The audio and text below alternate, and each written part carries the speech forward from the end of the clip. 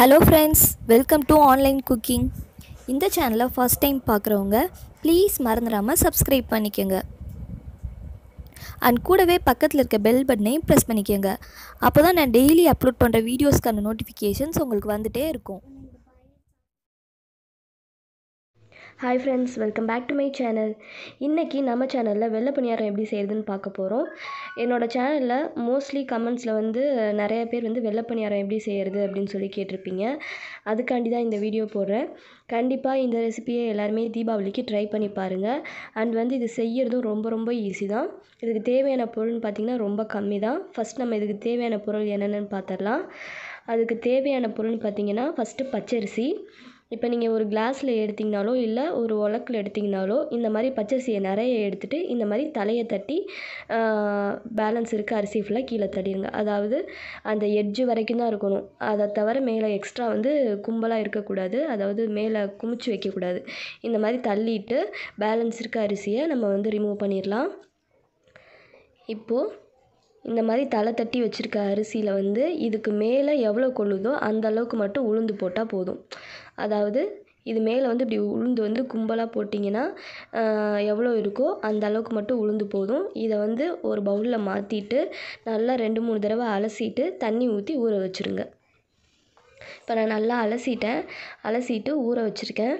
இது வந்து அட்லீஸ்ட் ஒரு ஒன் ஹவராவது ஊறணும் நல்லா. இப்போ இது இருக்கட்டும். ஒன் ஹவர் ஆயிடுச்சு.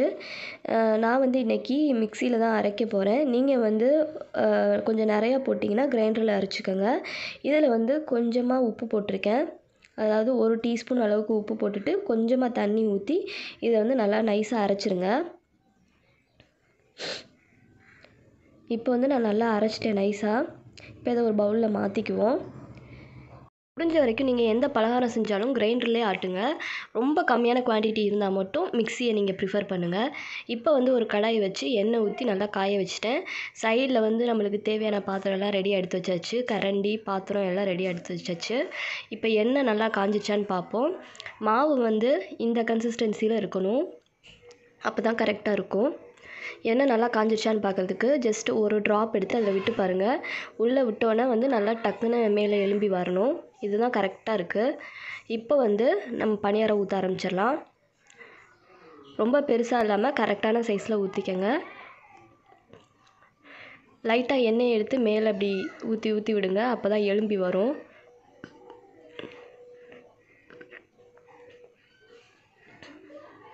ஜஸ்ட்டு ரெண்டு பக்கட்டும் ஒரு நாற்பது நாற்பது செகண்ட் இருந்தால் போதும். ரொம்ப நேரம் வேகணும்னு அவசியம் இல்லை. சீக்கிரமே ரெடி ஆயிரும். இதே மாதிரி எல்லாத்தையுமே நம்ம ஊற்றி எடுத்துக்குவோம்.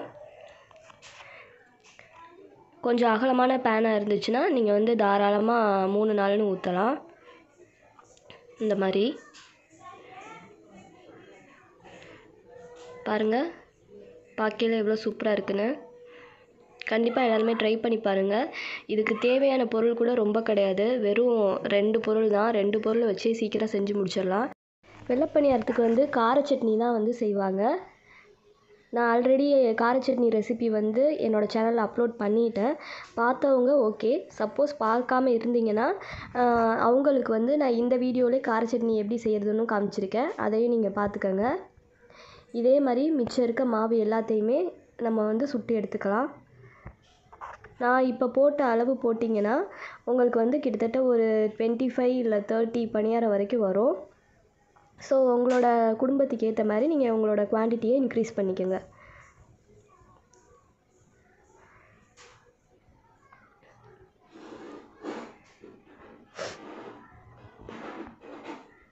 அவ்வளோதான் ரொம்ப சிம்பிளாக செஞ்சு முடிச்சாச்சு. நம்ம எதுவுமே பண்ண தேவையில்ல. இந்த மாதிரி இரும்பு சட்டியில் பண்ணிங்கன்னா அதுவாகவே மேலே எலும்பி வந்துடும் பாருங்கள்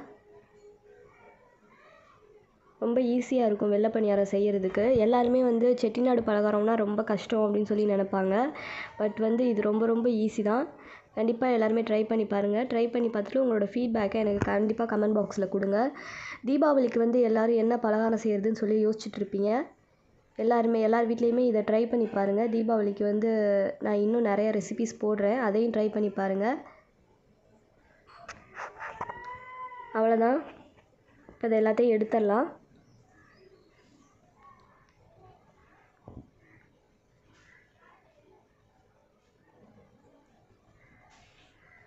இப்போ வந்து கார சட்னி எப்படி செய்யுதுன்னு பார்க்கலாம்.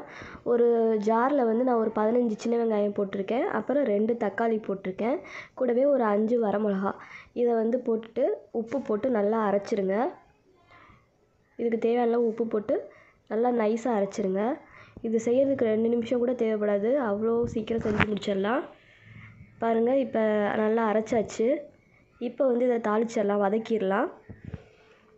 ஒரு கடாய் வச்சு அதில் ரெண்டு டேபிள் ஸ்பூன் எண்ணெய் ஊற்றிக்கங்க. எண்ணெய் நல்லா காஞ்சதும் அதில் கடுகு உளுந்து ரெண்டையும் போட்டு நல்லா பொரிய வச்சுருங்க. நல்லா பொரிஞ்சோடனே இதை நம்ம அரைச்சி வச்சுருந்த சட்னி அப்புறம் கொஞ்சம் கருவேப்பிலை இது எல்லாத்தையும் போட்டு நல்லா வதக்கிடுங்க வதக்கிட்டு இதை வந்து மூடி போட்டு வேக வைங்க. ஒரு ரெண்டுலேருந்து மூணு நிமிஷம் வரைக்கும் மூடி போட்டு இதை வந்து அப்படியே வேக வச்சுருங்க. எண்ணெயெல்லாம் பிரிஞ்சு வரும். மூடி போடாமல் வேக வச்சிங்கன்னா மேலே வந்து பபுள்ஸாக வந்து மேலே வந்து தெறிக்கும் அவ்வளோதான் நம்மளோட வெள்ளை பணியாரமும் கார சட்னியும் ரெடி ஆயிடுச்சு கண்டிப்பாக எல்லாருமே வீட்டில் இதை ட்ரை பண்ணி பாருங்கள் உங்களுக்கு இந்த வீடியோ பிடிச்சிருக்குன்னு நினைக்கிறேன். பாருங்கள் வெள்ளை பணியாரத்தை நான் இப்போ பிச்சு காட்டுறேன் எப்படி இருக்குன்னு. உள்ளே வந்து இப்படி தான் இருக்கும். பாருங்கள் எவ்வளோ சூப்பராக இருக்குன்னு.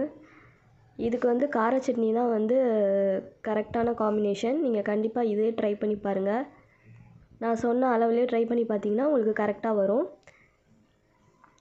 ஸோ உங்களுக்கு இந்த வீடியோ பிடிச்சிருந்தா லைக் பண்ணுங்கள் கமெண்ட் பண்ணுங்கள் முடிஞ்சால் உங்கள் ஃப்ரெண்ட்ஸ் அண்ட் ஃபேமிலிக்கு இதை ஷேர் பண்ணுங்கள் ஸோ தேங்க்யூ ஃபார் வாட்சிங்